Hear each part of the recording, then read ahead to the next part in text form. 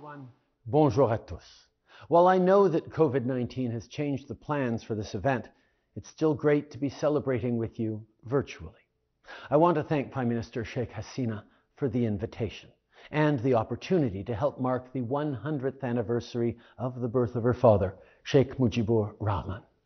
I also want to congratulate everyone on 50 years of an independent Bangladesh, something that we're able to celebrate today because of Sheikh Mujibur Rahman's vision for an independent and democratic country, one that was built on his love for its people. I got the chance to first visit your country as a child in 1983 with my father, who was Prime Minister of Canada then. At that time, my father and Sheikh Mujibur Rahman had already forged a strong relationship, one that was rooted in Canada's early support for an independent Bangladesh. Et depuis, nos pays entretiennent une relation durable fondée sur des liens étroits entre nos populations et des intérêts communs. Mais le Bangladesh est bien différent aujourd'hui de ce qu'il était lorsque j'y suis allé pour la première fois avec mon père. Over the past 50 years, your country has made incredible progress. You have spurred economic growth, reduced poverty, increased access to education and health resources, and have built new opportunities for your people.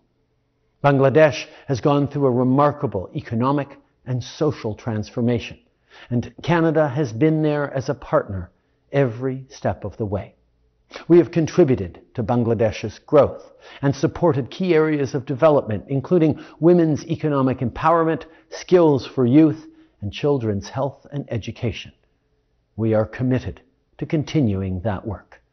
On va travailler ensemble pour répondre aux besoins des plus vulnérables dans le monde et pour relever les défis d'aujourd'hui et de demain. On va notamment s'attaquer aux répercussions sanitaires et économiques de la pandémie mondiale de COVID-19 et veiller à ce que chacun ait accès à un vaccin sûr et efficace.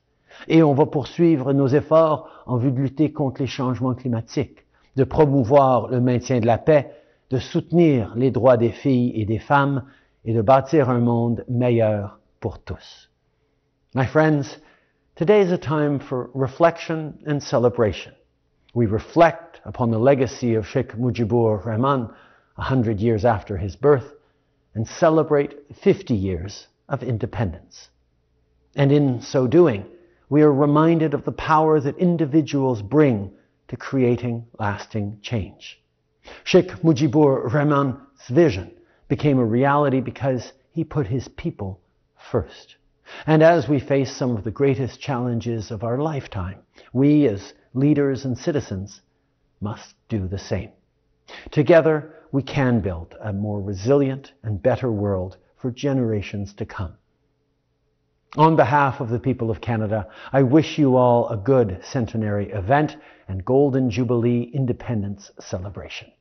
Merci beaucoup.